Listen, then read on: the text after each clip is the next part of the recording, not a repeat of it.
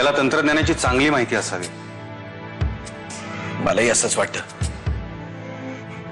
आता कोणीतरी लुंगा सुंगा या प्रकरणात हातच नाही घालणार. आणि तो जरी मूर्ख असला तरी त्याच्यामागे काम करणारा एखादा हुशार ब्रेन नक्कीच आहे.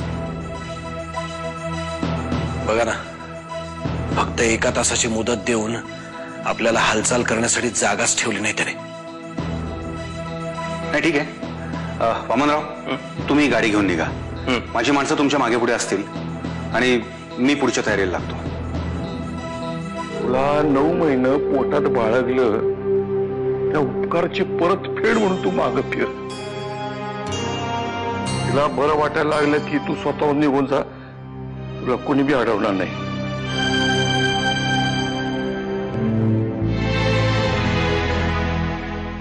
ज्या लोकांनी अमृताचं अपहरण केलंय त्यांनी सांगितलंय वामनला पैसे घेऊन पाठवा म्हणून. त्यांना आता वकिली जमत नाही म्हणून हे सगळं करायला लावताय? आता कसं सांगायचं तुला? अगं तो अमृतासाठी करतोय हे सगळं. काय झालं ग बाई? सुमिताई. सुमिताईकडे आता बघवत नाही हो. काय करू मी आता बाई? मान्य कर की सुमित्रा वेडी आहे. आणि तिची खरी जागा ही हॉस्पिटलमध्ये आहे घरात नाही. ती बेडी असं ज्यांना वाटतंय ना त्यांनी तिकडे जाऊन पहिल्यांदा स्वतःचं डोकं तपासून घ्यावं. जाणारच आहे. पण तिला तिथे सोडायला. वामनच हे सगळं चांगलं सांभाळू शकतो. अरे बाबा त्याच्या बुद्धिमत्तेबद्दल शंका नाही पण डिअरिंगचं काय? परशु डेअरिंगचा काय प्रश्न आहे? तिथे जाऊन मला कुठल्या गुंडाशी मारामारी नाही करायची. अरे वामन अशा प्रसंगामध्ये कधी काय होईल सांगता येत नाही बाबा. आणि तसंच काही घडलं ना तर मी काही कमी नाहीये. अमृतासाठी दुसऱ्या कोणाचाही जीव घ्यायला मी मागे पुढे पाहणार नाही. तुम्हाला काही झालं ना? तर मी एकटी पडेल मग मी घरातल्या कोणालाही सोडणार नाही. हो? मग आता काय चाललंय? तेच चाललंय की. घरातले सगळेजण त्यांचा काहीही दोष नसताना तुला फक्त सहन करतात अहिल्या. यामध्ये माझी दोन अत्यंत जवळची माणसं इन्व्हॉल्ड आहेत. एक माझी मुलगी आणि माझा भाऊ.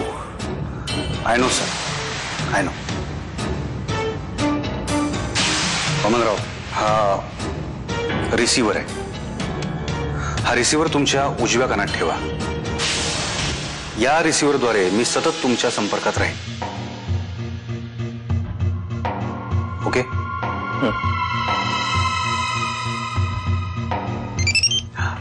एक्सक्यूज मी हा गायधनी बोला। ममन तू काळजी घे. डोंट वरी दादा. साहेब मला असं म्हणायचं होतं दादा. अरे दादा सुमीची तब्येत लई खराब झाली रे. डॉक्टरला बोलवायचं की नाही हे दादा ठरवतोय आमच्या घरात.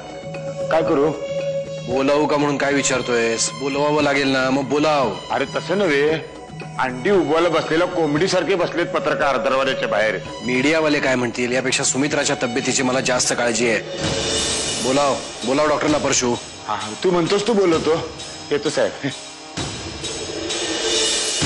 साहेब मी आता जे तुम्हाला सांगेन ते फक्त तुम्हाला आणि मला. आपल्या दोघांनाच माहिती आहे. किडनॅपरला आम्ही ती बॅग घेऊन तिथून जाऊ देणार आहोत.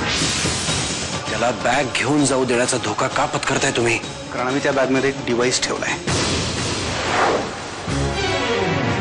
जो डिव्हाइस आपल्याला मिस अमृतापर्यंत पोहोचवेल. या अशा केसमध्ये गुन्हेगारांना रंगे हात पकडणं केसच्या निकालाच्या दृष्टीने अत्यंत महत्वाचं असतं साहेब. वेडी नाही माझी सुमी. सगळ्यांना माहितीये की ती वेडी नाहीये. पण तिला वेडे ठरवण्याचा कोणीतरी प्रयत्न करत. कोण आहे तो आरामपूर माझ्यासमोर आणा त्याला. अजून मला नाव नाही माहिती. पण एकदा नाव कळलं ना की माझ्या हातून तो वाचणार नाही एवढं नक्की.